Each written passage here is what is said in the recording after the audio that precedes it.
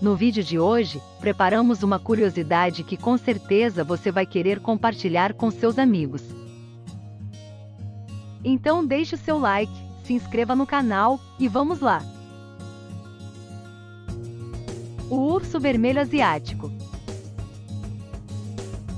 Quando vemos a palavra panda já imaginamos aquele urso preto e branco fofo comendo bambu. No entanto, estamos falando de um animal completamente diferente, inclusive no seu tamanho. O panda vermelho, que é um animal pequeno e avermelhado extremamente fofo, pertence à família dos ursos.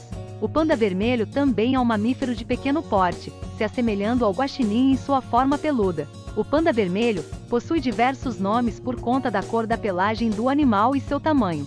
Esses aspectos o tornaram popular principalmente na internet. Os seus conhecidos nomes são como raposa de fogo, panda pequeno, gato de fogo, panda menor e urso gato vermelho.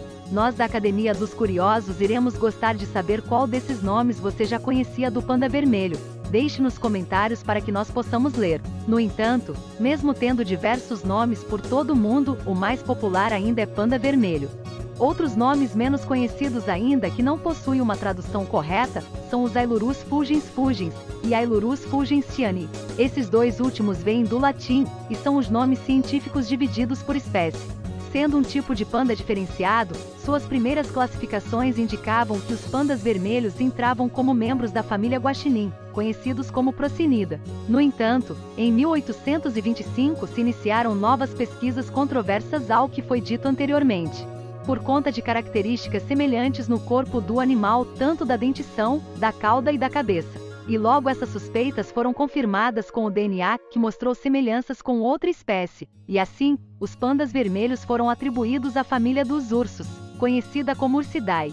Como já dito anteriormente, o panda vermelho tem certas características marcantes tanto pelo porte quanto pela cor, pesando entre 3,6 e 7,7 kg, e seu tamanho varia de 56 a 62 centímetros, sem contar o comprimento da cauda, que também varia de 37 a 47 centímetros. Já outras características visuais mais simples como cabeça redonda e focinho curto acompanhado de grandes orelhas pontudas, Agora um dos pontos que mais marcam o panda vermelho, além da sua pelagem rubra está no rosto, com marcas brancas em forma de lágrima do tom marrom avermelhado, e claro, a cauda possui anéis se alternando de cor assim como pode ver na imagem. Sendo um panda, sua principal localização no globo está direcionada para países asiáticos, como no norte de Birmânia no Nepal, em Sikkim na Índia e Yunnan que é localizado na China. Esses animais em si são arbóreos, que passam a maior parte da vida nas árvores com isso. Você pode encontrá-los em florestas temperadas de grande altitude, como em montanhas altas e no Himalaia. No entanto, os locais mais predominantes de moradia desses animais são na China e no Nepal. Inclusive, o panda vermelho costuma viver solitário, sem casais ou bando, sendo assim, animais que só entram em contato, quando necessário, como a reprodução. Os pandas vermelhos possuem uma reserva de energia limitada, com isso, tentam equilibrar a dieta com raízes, frutas e insetos. Alguns, até mesmo, se aventuram a matar pequenos pássaros quando estão no alto das árvores, lembrando que eles também são carnívoros iguais aos pandas gigantes.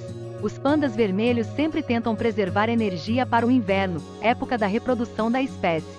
Os pandas vermelhos, mesmo com baixa energia, podem ser ativos durante todo o dia, no entanto, são considerados crepusculares, com mais atividade ao anoitecer e amanhecer. Além disso, algo que reflete muito em seu comportamento é o clima, quanto mais frio, mais ativos.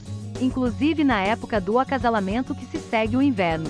Sobretudo, tendem a diminuir a seu metabolismo, aumentado gradativamente quando vão à procura de comida.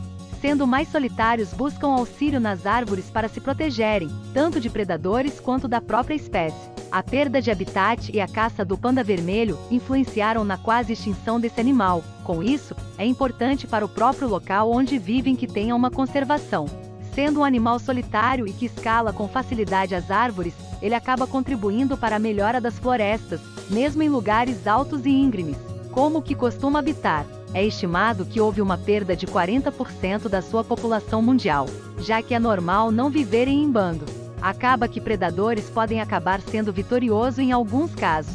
Sendo um animal exótico, o panda vermelho tende a estar em extinção, ainda mais com a revelação das subespécies. Uma solução para a preservação desse animal deve ser feita em consenso entre a China, Índia e Mianmar deve correr, países onde há uma concentração desse animal. Outro ponto que pode ajudar é a identificação genética e, claro, o trabalho em conjunto nas fronteiras.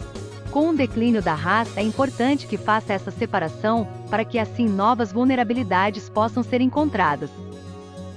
Se você gostou desse vídeo, se inscreva no canal e ative o sininho para receber mais vídeos como este. Deixe seu like e compartilhe para os seus amigos ficarem por dentro de todos os nossos vídeos junto com você. Até o próximo vídeo.